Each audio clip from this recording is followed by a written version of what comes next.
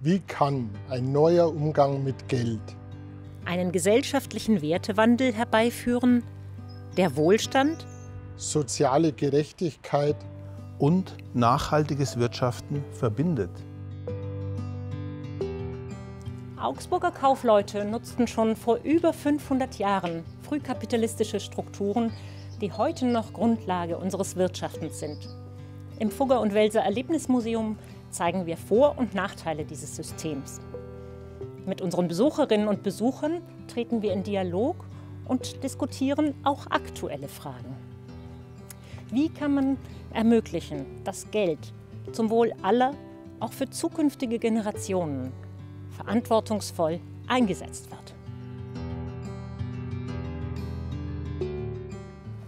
Wir laden Gäste aus allen gesellschaftlichen, kulturellen, sozialen Ebenen nach Augsburg ein, um mit ihnen innovativ über Geld und Finanzen zu diskutieren und über ein neues, bewusstes Handeln nachzudenken.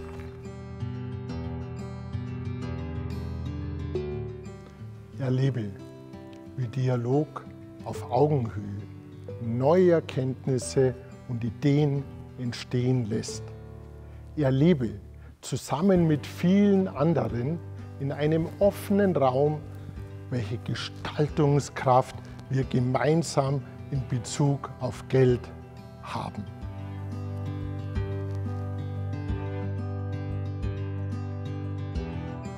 In diesen Räumen hier verwirklichen wir ein außergewöhnliches Programm in einer Atmosphäre, die wirklich alle einlädt, aktiv mitzugestalten.